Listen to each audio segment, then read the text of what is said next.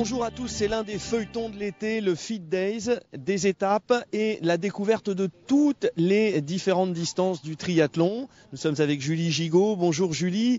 Ici à Saint-Quentin-en-Yvelines pour la deuxième étape. On va une nouvelle fois prendre beaucoup de plaisir parce que vous, les champions de triathlètes, vous courez avec la, masse et en plus vous courez les hommes avec les filles. Bref, c'est un truc génial.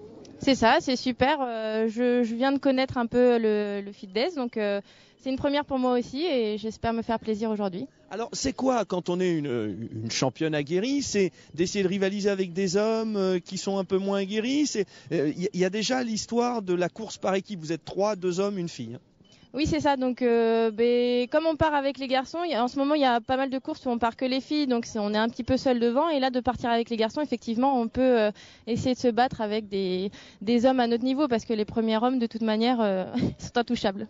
Il y aura notamment Frédéric Bellobre, évidemment, Frédéric Bellobre, Julie Gigot, des grands noms du triathlon français et la masse aussi, c'est le principe. Vous qui euh, faites du triathlon, vous avez la possibilité de concourir avec ces messieurs-dames.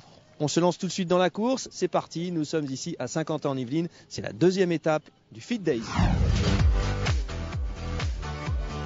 Pratiquement 120 dossards ont été signés pour ce deuxième rendez-vous. Rappelons quand même le principe, puisque toutes ces étapes du Fit Days seront regroupées entre le 22 juin et le 13 juillet. Euh, sachez que Sport Plus est évidemment aux côtés de l'organisateur pour vous faire vivre toutes ces manches. Le Havre s'est passé, c'était un XS. Le S aujourd'hui à 50 ans Yvelines, plus précisément à Montigny-le-Bretonneux avec le plan d'eau de la Sourderie. Un triathlon M à Givet, et puis un gros gros gros triathlon L entre Saint-Nazaire-en-Royan et Lens-en-Vercors le 13 juillet. Voilà les différentes distances, on y reviendra. Intéressons-nous à ce qu'il se passe dans le parc à vélo. Décontraction mais un petit peu de tension, tout simplement parce que sur ce parcours cycliste qui est réservé aux triathlètes autour euh, de Montigny-le-Bretonneux, 50 ans Yvelines, voisin de Bretonneux, il y a eu un accident de la route, rien à voir avec les triathlètes, mais ça a retardé le départ, ce qui fait que euh, les 117 partants se présentent autour de Frédéric Bellobre dans le bassin de la Sourderie avec un temps qui est complètement différent. Si le départ sans l'accident avait été donné, il aurait eu lieu une demi-heure avant en plein soleil. Là, ça va être la pluie, ce n'est pas simple. C'est parti. Frédéric Bellobre avec ses deux coéquipiers du club de Saint-Quentin-en-Yvelines, Aurélien Lebrun et Émeric Pétel, se sont lancés les premiers. On suivra également parce qu'il y a un petit enjeu par équipe. L'équipe Eurovia est là et également l'équipe de Versailles.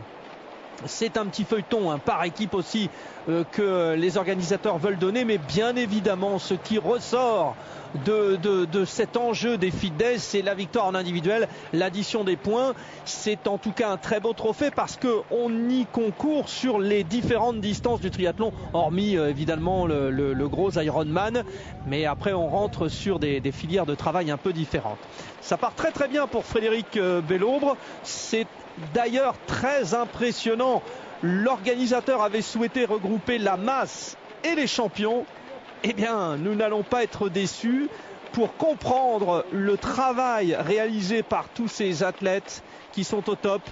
Évidemment, Frédéric Bellobre, que vous voyez, trois fois champion d'Europe, champion du monde junior, vainqueur de manche de Coupe du Monde et nous nous souvenons évidemment de sa cinquième place aux Jeux Olympiques d'Athènes où d'ailleurs il y avait un parcours euh, vélo très difficile avec des ascensions. Aujourd'hui il y en aura avec une bosse notamment de 17%. Ce plan d'eau est assez froid, évidemment, combinaison euh, obligatoire, passage de la première bouée pour au total 750 mètres. Donc nous sommes sur un format S. En général, on, parle de la distance olympique qui est considérée comme format M, c'est-à-dire 1500 euh, euh, mètres de natation, 40 km de cyclisme et 20 km de course à pied. Là, on est sur, et 10 km de course à pied. Là, on est sur la moitié d'un distance olympique, un S, c'est-à-dire 750 mètres, 20 km et 5 km. De quoi évidemment arrangé Frédéric Bellobre qui sur cette distance a souvent brillé également dans le Grand Prix que vous suivez sur Sport Plus. Alors je vous parlais des écarts. On a à la sortie pour l'instant euh, de l'eau clairement euh, deux groupes, ceux qui sont les champions et qui sortent là avec notamment euh, Frédéric Bellobre, Aurélien Lebrun et Émeric Pétel dans l'ordre. Attention, les Allemands, euh, Christophe Klaus notamment et Jonas Meyer ne sont pas très très loin. Et nous avons ensuite ceux qui sont licenciés mais qui n'ont pas l'habitude de, de, flirter avec les hauts niveaux. Et puis après, il y a les non licenciés alors euh, bien nous avons euh, des écarts énormes parce qu'à la sortie, Frédéric Bellobre est accrédité d'un 9 minutes 50 sur les 750 mètres.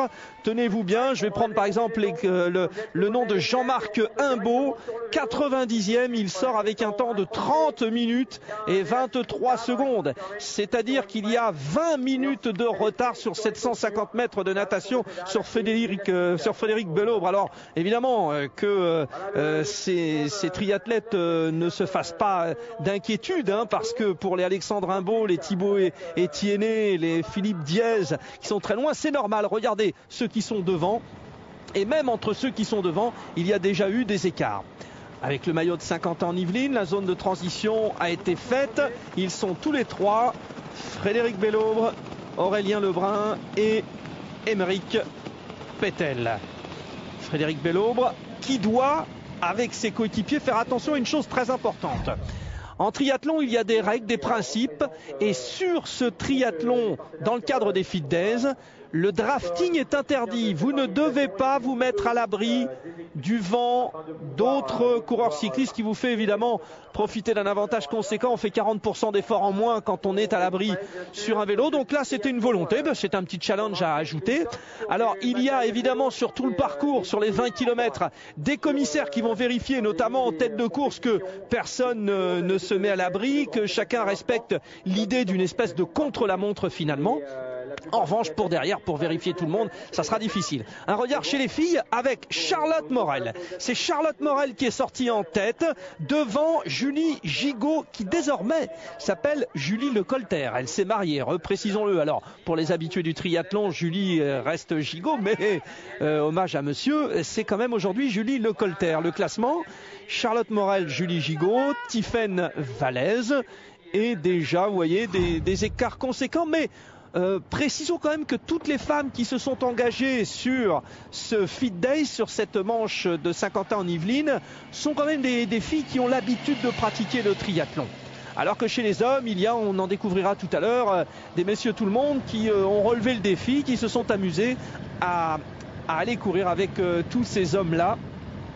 Et notamment ici avec le numéro 6, Jonas Meyer,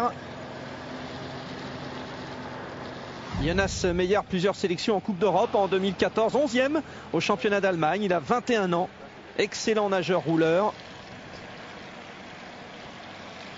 Et donc on revient avec cette course à plusieurs échelons finalement. Nous avons pour les filles Charlotte Morel, championne de France de longue distance, qui a gagné à Cannes cette année et euh, enfin qui vise le championnat de France de longue distance et qui a gagné à Cannes en longue distance. Charlotte Morel est là, mais Julie Gigot, au palmarès bien trempé en triathlon, elle va revenir sur Charlotte Morel et notamment prendre un maximum de risques dans les descentes. C'est là que Julie Gigot va faire euh, la différence face à Charlotte Morel sur la partie cycliste. Revenons chez les garçons. Les garçons où pour l'instant c'est assez, euh, assez clairement établi. Bien sûr, nous avons les garçons de 50 ans Yvelines qui sont devant, même si on note euh, la présence de Christophe Klaus. C'est bien ce que fait euh, Christophe Klaus. Plusieurs sélections lui aussi en, en Coupe d'Europe en 2014, 9e du championnat d'Allemagne très proche, un peu le même profil que Jonas Meyer, son coéquipier de l'équipe allemande de Eurovia, où on note également la présence de Noémie Terillon. Frédéric Bellobre. Attention avec Aurélien Lebrun. Sans abri, messieurs. Il est clair que si le drafting avait été autorisé aujourd'hui, eh la course aurait été complètement modifiée. On aurait eu des rapports de force très différents. Donc, je vous le disais tout à l'heure, la course des filles, la course des garçons, un regard aussi sur ce face-à-face entre les trois équipes dont on vous a parlé, les trois équipes professionnelles. Et il y a également les courses euh, pour messieurs tout le monde. Donc là, nous regarderons aussi euh, les résultats avec euh, intérêt c'est toujours une, belle chose de, pouvoir se lancer des paris, même si on n'est pas sportif de haut niveau, qu'on n'a pas de licence. c'est très bien. Et il y a aussi des, relais. Certains ont décidé de faire ce triathlon en relais, donc il y en a un qui fait la partie cycliste, l'autre qui fait la partie course à pied. Évidemment, c'est un, un autre qui a lancé le triathlon dans la partie natation. Il y a notamment euh, les pompiers euh, de, des Yvelines euh, qui ont décidé de faire le relais. On pense au trio Busnou, Gaillard et Tripier et à celui de Ruiz, Jubot et Graal. Des crevaisons et attention, non pas de crevaisons, c'est simplement des appréhensions. Il a plu, je vous le disais tout à l'heure, mais le soleil est de retour en cette journée de dimanche à Montigny-le-Bretonneux sur Saint-Quentin en Yvelines, ville nouvelle. Le temps est très très très très très capricieux. Alors des fois il fait chaud, vous voyez là avec le soleil au moment de la zone de transition. Mais après, après c'est beaucoup plus compliqué quand il pleut. On est frigorifié. Arrivée des 3 de Saint-Quentin avec présence, et ça c'est une belle performance de Christophe Klaus, l'Allemand. Donc nous avons Frédéric Bello, Aurélien Lebrun, Émeric Petel et Christophe Klaus, quatre hommes qui sont à la sortie de la partie cycliste et qui vont se lancer dans les cinq derniers kilomètres de course à pied. Je vous rappelle donc les distances en triathlon. Je vais parler de distance olympique, de la distance S. Si on fait un, plus petit, un XS, c'est 410 et 2,5. Voilà. Et après, pour les longues distances, on appelle ça un L, 3 km, 120 km, 30 km. Et on est sur le XL après avec l'Ironman 3,8, 180 km et le marathon. Voilà, c'est l'idée un peu générale. Le classement à la sortie du cyclisme. Émeric Pétel est passé en tête devant Frédéric Bellobre et Christophe Klaus. Voilà, c'est parti maintenant pour les trois tours du plan d'eau de la souderie. Ici, la sourderie à Montigny-le-Bretonneux. Alors c'est un village, hein, c'est où euh, euh, les organisateurs ont souhaité bien sûr faire courir la masse avec les champions, mais euh, alors que arrive Julie Gigot, elle conforte sa première place avant la course à pied. Elle a pris des risques dans les descentes à vélo et elle a fait la différence. Donc voilà pour la course féminine. Et sachez que on va attendre évidemment les participants non licenciés et les licenciés avec un peu moins d'ambition. Mais vous voyez, il y a beaucoup de familles qui sont venues en ce dimanche et beaucoup d'ateliers sont organisés pour faire découvrir euh, le triathlon aux enfants. Alors il y a des enfants euh, qui euh, peuvent faire l'enchaînement natation. vélo et course à pied. vous voyez le petit plan d'eau qui est juste derrière, là ici Charlotte Morel. donc les gens viennent en famille et c'est une c'est une bien belle idée, même si le temps était capricieux et un peu était à l'origine de, de, de l'absence de certains qui s'étaient engagés. On attendait 300 enfants sur la journée, il y en a eu un petit peu moins. Allez, les garçons se sont retrouvés devant les trois de Saint-Quentin. Comment vont-ils faire maintenant? Là, on ne parle plus de drafting, même si on peut toujours prendre la foulée ou euh, nager dans les pieds. Il est clair que euh, l'abri qu'on peut avoir stratégiquement sur une course de vélo est totalement différent de celui des deux autres disciplines. Sachez quand même euh, sur les parties euh, cyclisme que le meilleur temps a été fait par euh, Christophe Klaus, hein, qui est revenu sur, sur les garçons de 50 ans Yvelines. Il a, il a fait les 25 km en 36 minutes 44, les 20 km, pas 25. Hein. Les 20 km en 36 minutes 44 précisément, Christophe Klaus. Je prends euh, des non licenciés comme par exemple euh, Loïc Morel qui a fait 49-14. Là, les non licenciés ont fait des, des, belles performances. Le meilleur temps des non licenciés revient à Alexandre Carlier, le numéro 32 qui a fait 43 minutes 51 secondes. Et vous avez vu aussi le temps des filles avec euh, bien sûr la très très belle performance de Julie Gigot-Lecolter qui elle a couru en 39 minutes et 37 secondes, c'est-à-dire qu'elle est à un peu moins de 3 minutes de retard du meilleur temps des garçons, Christophe Klaus, chapeau Julie, qui est en train euh, d'assurer son positionnement en tête de la course féminine. On revient sur les garçons le temps clément. Vous verrez que finalement la pluie va retomber après l'arrivée et que certains qui sont placés très très loin vont arriver sous la pluie alors que ceux qui sont devant, à l'image de Frédéric Bellobre qui prépare euh, une manche de Coupe d'Europe, hein, Frédéric Bellobre, il est là avec son club de Saint-Quentin euh, qui est son club depuis maintenant quelques saisons. Frédéric Bellobre en tout cas est là, avec Aurélien Lebrun expérimenté qui a fait une troisième place en Coupe du Monde cette année à Chengdu en Chine.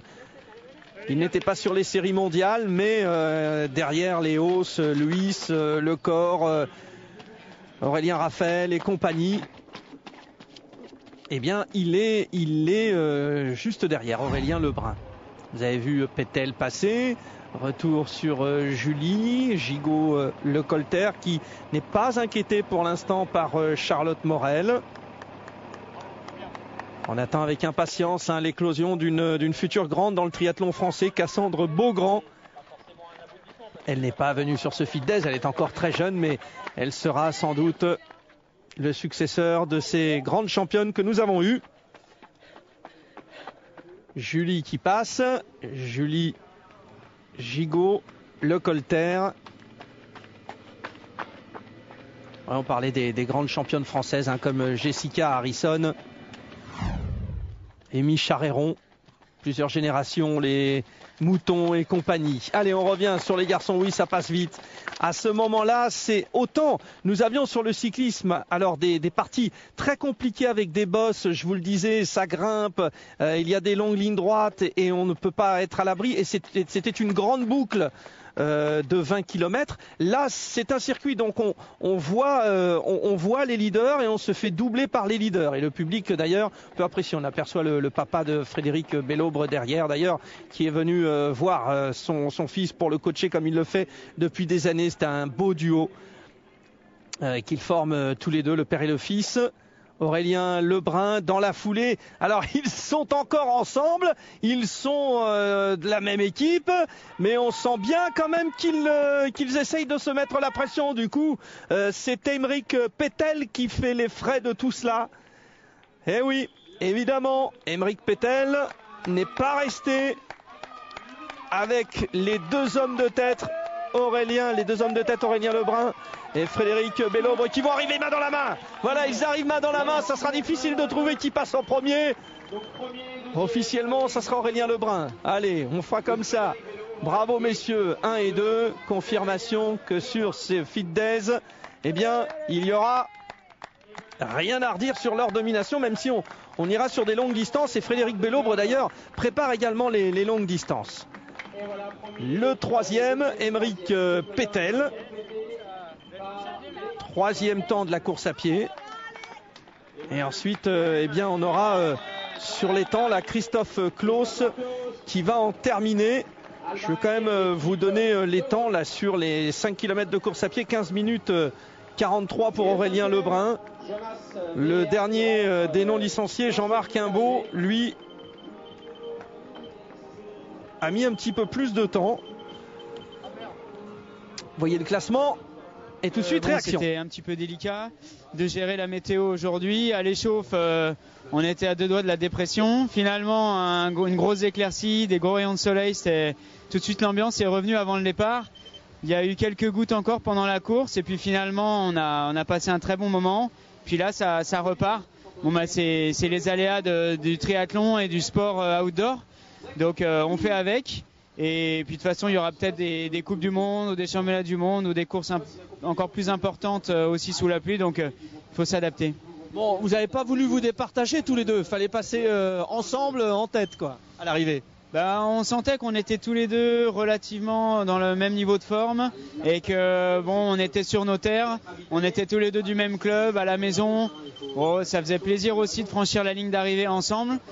C'est aussi l'occasion sur ce genre de course euh, bon, en Coupe du Monde ou euh, encore une fois sur des, des challenges ou des, des épreuves vraiment euh, importantes, on ne peut pas trop se permettre.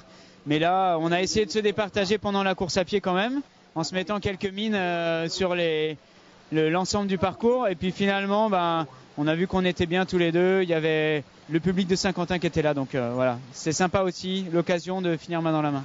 On m'avait dit que Paris c'est plat, mais finalement la vallée de la Chevreuse c'est vraiment pas si plat que ça. C'est vrai que bon, avec la pluie, euh, le parcours était devenu un petit peu dangereux. Euh, les descentes étaient assez raides. Euh, il y avait quelques bandes blanches, quelques changements de direction. Donc, mais bon, avec l'équipe à 51, on s'est retrouvé vite aux avant-postes. Donc du coup, on a pu gérer, pas prendre de risques. Il fallait assurer la saison et, c'est ce qu'on a fait et on l'a fait intelligemment. Bon, même question qu'à Frédéric qui m'a dit oui c'est bien d'arriver main dans la main. On a quand même essayé de s'envoyer quelques mines sur la partie course à pied, vous confirmez? Oui, moi le premier, en fait, ben, on veut se tester hein, jusqu'au bout. on essaye, on voit si on peut sortir l'autre. On a fait deux tours ensemble gentiment, un peu au train, et puis dernière, euh, tour, on essaye de dominer. Euh, voilà, il a répondu deux fois à mes attaques. Euh, alors, au bout d'un moment, j'ai arrêté. Il m'a dit bon, je te la laisse. Je lui ai dit bon, on finit à deux. voilà, quoi. On s'est entendu les derniers 400 mètres. On a tout donné, mais voilà, on savait qu'on s'attendrait à 400 mètres avant la ligne. On s'est, on s'est arrangé comme ça parce qu'on n'arrivait pas à se sortir, tout simplement, quoi. Intéressons-nous maintenant aux filles avec Julie Gigot Lecolter qui va s'imposer. Petite indication intéressante. Elle est au rang 14 de la course, c'est-à-dire qu'elle a été battue par 13 hommes. Celui qui la précède est Grégory Cheval, qui est euh, l'essentiel à Versailles. Grégory Cheval qui en plus va très très vite. Et euh, Julie Lecolter, 14e, alors qu'elle devant Charlotte Morel, donc deuxième de la course féminine, et Charlotte Morel sera 16e. Un homme se trouve entre Julie Lecolter Gigot et Charlotte Morel à la 15e place, et Hugo Portejoie du club du l'UNSS 78 MGEN. Et cet homme-là bah, aura eu le grand privilège d'être entre les deux championnes. Avantage à Julie Gigot-Lecolter grâce à sa partie cycliste avec une prise de risque beaucoup plus importante. Elle avait fait un triathlon la veille. Et bien pourtant, elle est en forme. Julie Charlotte Morel va donc en terminer euh, dans peu de temps. Peu d'écart finalement entre les deux filles. On va le voir sur le classement. Et surtout, elles ont mis euh, beaucoup de, garçons euh, très très loin derrière, notamment, bien sûr, des non licenciés. C'est logique. Très intéressant de voir la hiérarchie entre les uns et les autres. Le classement et Julie. Euh, j'ai fait un, gros vélo. C'est vrai que j'ai vu que Charlotte avait pris un petit peu moins de risques que moi, donc moi j'ai décidé d'en prendre un petit peu plus. Et puis finalement, ça a payé. J'ai rien lâché à pied et bah voilà, la victoire est au bout, donc je suis super contente il n'y avait pas trop de points de repère parce que très vite ça a été euh, très éparpillé quoi. Alors c'était quoi euh, pour caler sa course? Comment ça se passait? Ben très vite j'ai eu Charlotte moi en point de mire à vélo. Donc je la voyais en haut des bosses à des virages. Donc je savais qu'elle n'était pas très loin. Donc bon ça c'était plus facile dans mon sens de la voir en point de mire que elle qui savait pas trop où j'étais. Donc moi j'ai eu un petit peu cette chance là. Intéressons-nous aux non licenciés, notamment au premier d'entre eux, le 26e, Gilles Debuchère, qui a mis 1h22 minutes 26, alors que le meilleur temps, Aurélien Lebrun, 1h02 42, et que le meilleur temps pour euh, euh, Julie euh, Gigot Le Colter était d'une heure 11 22. Voyez monsieur tout le monde avec notamment un qui nous parle de son expérience Alexandre Breton, il est 57e. On l'écoute.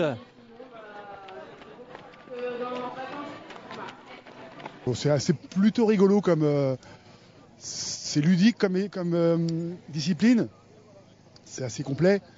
Et puis c'est une bonne alternative. Ça permet de pouvoir d'avoir un but aux entraînements qu'on peut faire euh, régulièrement toutes les semaines. Ça permet d'avoir de temps en temps ou ce type d'épreuve, ou une course à pied, ou, ou un vétathlon, ou n'importe quelle épreuve où on peut, on peut un peu mettre en, en, œuvre ce qu'on a travaillé à l'entraînement de façon assez rigolote. Quoi. L'avantage que j'ai, c'est que forcément, je vais doubler plus de gens que de gens vont me doubler parce que derrière moi, il n'y a pas grand monde au départ. Donc, euh, et comme euh, natation, je suis pas très bon, vélo, je suis moins mauvais, et course à pied, je suis encore moins mauvais. Donc, c'est assez motivant pour euh, progresser dans l'épreuve qui, somme toute, est assez. c'est difficile, mais c'est que c'est une heure et demie, donc bon, c'est pas c'est pas si difficile que ça. C'est plutôt, plutôt marrant d'alterner les épreuves. Et c'est ainsi que se termine cette deuxième étape avec euh, Sifou Rabat qui est avec nous, euh, l'un des partenaires de ce concept. Euh, la masse avec les champions, avec ces trois disciplines. C'était un sacré pari. Hein? Absolument. c'est une très belle initiative que de faire cohabiter les petits.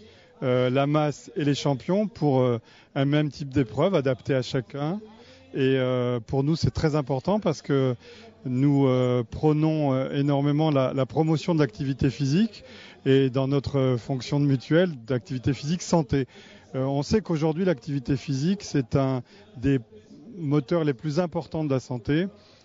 en termes de prévention, ça paraît évident, en termes de bien-être, ça paraît évident, mais ce qu'on sait moins, c'est qu'aujourd'hui, c'est une alternative ou un complément aux médicaments pour des malades chroniques.